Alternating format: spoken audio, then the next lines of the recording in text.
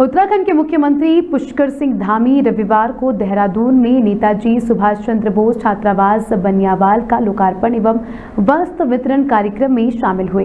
कार्यक्रम में सीएम धामी ने नववर्ष 2023 की बधाई एवं शुभकामनाएँ देते हुए कहा कि मैं सर्वप्रथम आप सभी को नववर्ष 2023 की बहुत बधाई एवं शुभकामनाएँ देता हूँ।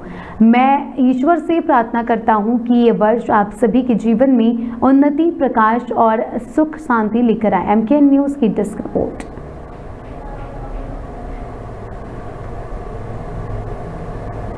नेताजी सुभाष चंद्र बोस छात्रावास के इस भारत माता की।